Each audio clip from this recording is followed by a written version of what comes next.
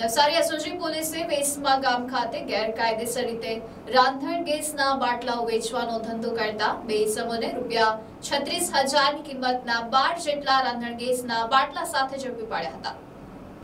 નવસારી જિલ્લા પોલીસ અધિક્ષક સુશીલ અગ્રવાલ દ્વારા નવસારી એસઓજી પીઆઈ એનએમ આહિરને નવસારી જિલ્લામાં ચાલતી ગેરકાયદેસર દારૂની હેરાફેરી તેમજ રાંધણ ગેસના બાટલાઓનો સંગ્રહ કરી એને વેચવાની ગેરકાયદેસર પ્રવૃત્તિ કરી લોકોના જાનમાલનું નુકસાન થાય તેવું કૃત્ય કરતા ઇસમો વિરુદ્ધ કાયદેસર કાર્યવાહી કરવા જરૂરી સૂચના અને માર્ગદર્શન આપવામાં આવ્યું હતું.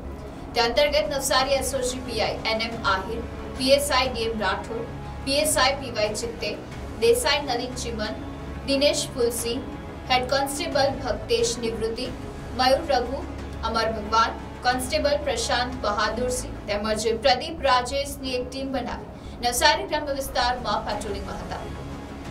દરમિયાન હેડ કોન્સ્ટેબલ ભક્તેશ અને મયુરને બાતમી મળી હતી કે મુંબઈથી અમદાવાદ તરફ જતા નેશનલ હાઈવે નંબર અડતાલીસના સર્વિસ રોડ ઉપર વેસમા પ્રતાપ રોડની સામે બે સમૂહ આજુબાજુના વિસ્તારોમાં કમિશન લઈ ઊંચા ભાવે પ્રાંતણ ગેસના બાટલાઓનું વેચાણ કરી રહ્યા છે. તે બાતમીના આધારે એસઓજી પોલીસે બાતમીવાળી જગ્યાએ રેડ કરતા ત્યાંથી ગેરકાયદેસર રીતે રાખવામાં આવેલા રૂપિયા છત્રીસ હજારની કિંમતના બાર જેટલા રાંધણ ગેસના બાટલાનો જથ્થો મળી આવ્યો હતો.